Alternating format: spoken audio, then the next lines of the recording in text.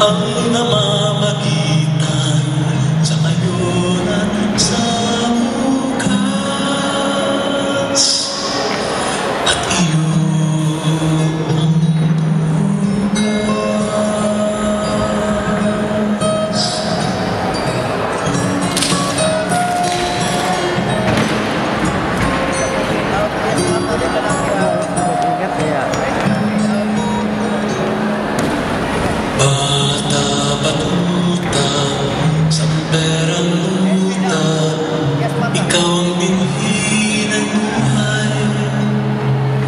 Sa taglay mong pangarap, ang bukas ay nakita.